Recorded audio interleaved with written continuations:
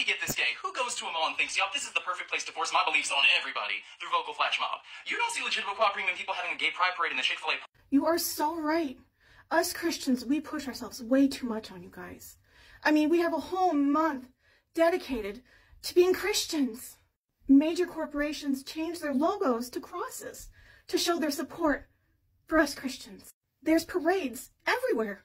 Men, women, children just throwing Christianity in your face. And it's gotten so bad and so out of control that even the media and celebrities are constantly talking about Christianity and how everybody needs to be exposed to it. The saddest part about this whole thing, it just hurts my heart, is that if you don't believe in Christianity and, and you don't like it, we'll call you a phobe, a phobic, a Christian phobe.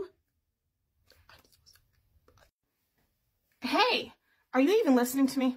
Wake up! There you are. You're back in reality with the rest of us.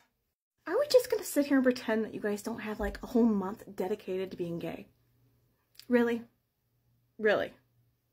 And as far as, you know, doing a flash mob in a mall, of course you guys wouldn't do it there. You guys would rather do it here.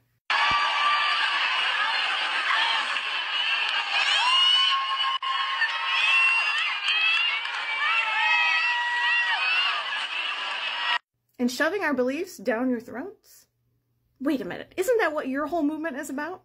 Uh, whippings and all that kind of stuff, a perversion really of affection. And it's about flaunting an aggressive sexuality without any moderation or any consideration or any sense of time and place, uh, dignity. Yeah, I'd say that's what the whole movement is about, really. I mean, it's no consideration for anybody else. I mean, as you just seen, we're walking around in BDSM gear, half naked, flaunting it. We don't care because we should be able to do whatever we want. Because we're here and we're queer, right? That reminds me. Let me show you one of my other favorite clips.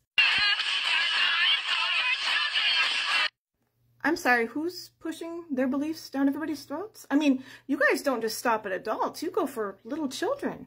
You know, underage children that you want to push your progressive sexual ideologies on. Back in my day, that would have been criminal. And lastly, you guys want respect? Right? You want respect from us Christian folks. Well, let me give you a tip or a pointer, if you will. If you want respect, stop doing this. So just to make sure I'm correct here, um, you demand that we respect you, yet you guys continuously disrespect us Christians and our God.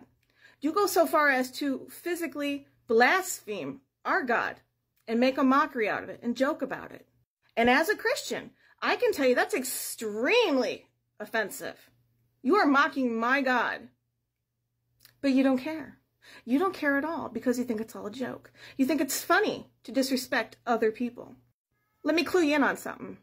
Respect is not given. It's earned. And so far, you haven't earned one ounce.